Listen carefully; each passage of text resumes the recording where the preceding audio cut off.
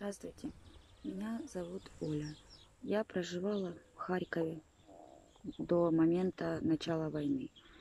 Война началась 24 февраля. У меня двое детей. Они очень, 9 и 6 лет. Когда, нач... Когда начали летать ракеты вот, над домом, было очень страшно.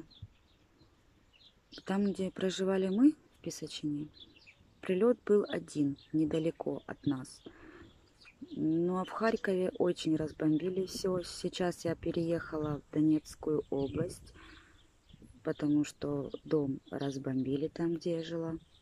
жить мне больше негде. Деньги нужны для проживания, так как сейчас работы здесь очень мало.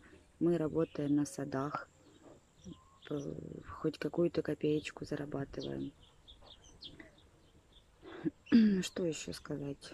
Очень надоела эта война. Хочется, чтобы все это закончилось поскорее. До сих пор слышны взрывы, прилеты, много чего. Пожалуйста, если сможете, помогите, чем можете. Спасибо вам огромное заранее.